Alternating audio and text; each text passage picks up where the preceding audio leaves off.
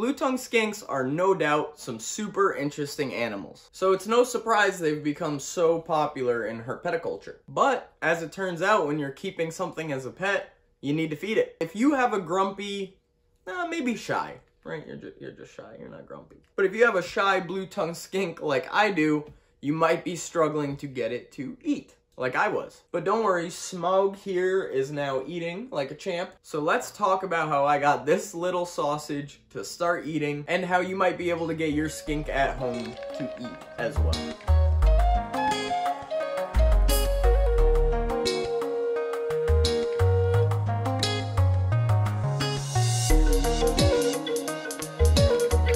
To understand how to get an animal to eat, I wager that it's pretty important to understand the animal itself.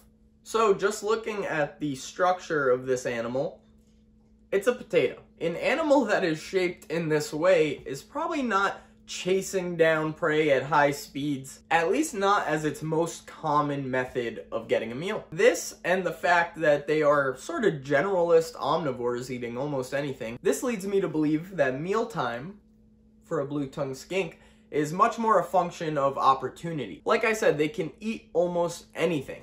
This is probably because they're just bumbling along their terrain in their native habitat. Maybe you have an Australian, maybe you have an Indonesian blue-tongued skink, but wherever they are, they're kind of cruising around looking for an opportunity to eat. For that reason, the diet of the blue-tongued skink consists of things like vegetables and fruits, dark leafy greens, worms, larvae, roaches, things along those lines, eggs, and even carrion or decaying animal matter. Like I said, bumbling potatoes that move around on what look to be like halves of toothpicks, they take what they can get. So we've established that they are opportunistic eaters, but how does that help a keeper with a skink on hunger strike? Well, I'll tell you what worked for me and Smaug here at least. Throw the kitchen sink at it, okay? Feed it everything. Feed it your shoes. No, no, I'm just, I'm just kidding pretty much anything you can feed a reptile anyway. Lucky for Smaug and myself, I have a lot of reptiles, so that means I also have a lot of different variety of reptile food. So when he joined our family,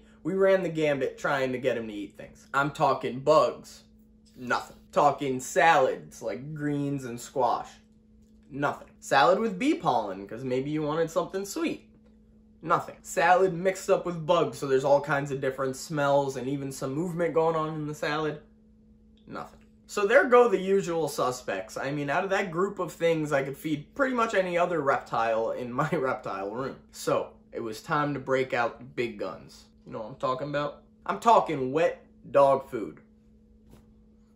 This is a weird puppy. Look at my weird puppy. He's a weird little puppy. And I used a grain-free dog food. Now, grain-free does not automatically mean healthy, but grains, I don't know, to me seem like, like he probably wouldn't, you know, it's probably not good for him to eat a plate of rice, right? So if they're shoving a bunch of like rice and wheat and whatnot into certain wet dog foods. I did not want to feed that to him. I used Blue Wilderness blend. I think I used a puppy food actually. And it did have small chunks of potato in it, but I picked those out as well and had a plain old bowl of some wet dog food because you're weird. Wet dog food is not a staple I want Smaug to eat like every day or anything like that. But I have heard of blue tongue skinks eating things like this. I knew I was to try it at some point as a fun little treat for him, but I don't want it to be what, you know, I want him to eat whole foods like greens and whatnot and whole prey like insects to get him uh, more of a full nutritional profile with plenty of calcium and whatnot. But drastic times can call for drastic measures, so I filled your food bowl up, didn't I? I popped it in his cage and I gave him some privacy. In the time between me giving him this food and coming back to check on him,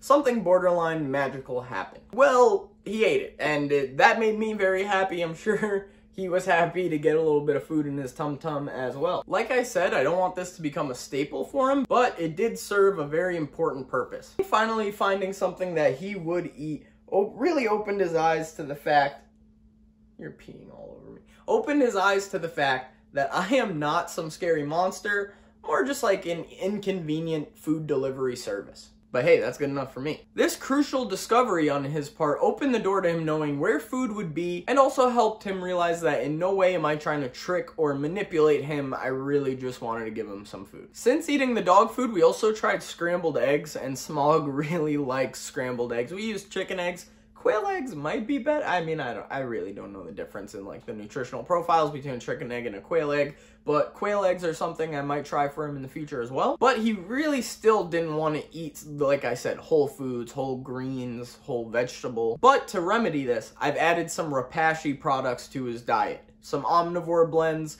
namely Bluey Buffet and Pumpkin Pie. And these fantastic little powders have served a dual purpose for Smaug and myself. They do contain many, if not all, of the nutrients that Smaug needs in his diet. I wouldn't completely replace everything else I feed him with just these powders, but I mean to add as a, as a supplement to their diet, or in a pinch if they're not eating anything and they'll eat that, I mean it's better than nothing, right? But it turns out that Smaug will eat pretty much anything that has this, this nice beautiful goop all over it, okay? That includes salads, and his favorite is definitely the pumpkin pie. I mean, he really goes crazy for that. The Bluey Buffet, you know, kind of circle around, be like, meh, eh, you know, and then start slurping it up a little bit. But that pumpkin pie, mm-mm-mm.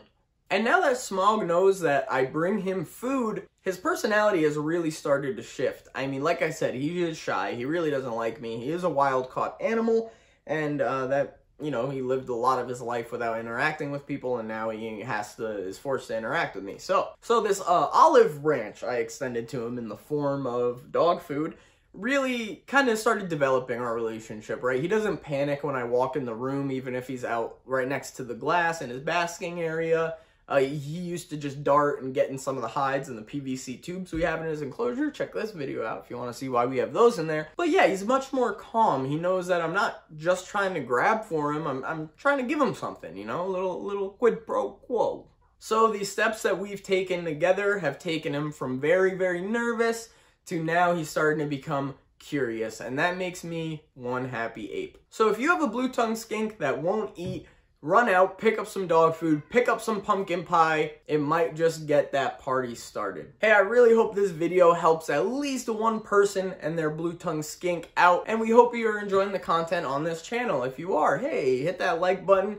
Make sure you subscribe to Red Ribbon Reptiles. It helps us out a lot. And you got anything else to say, Smaug?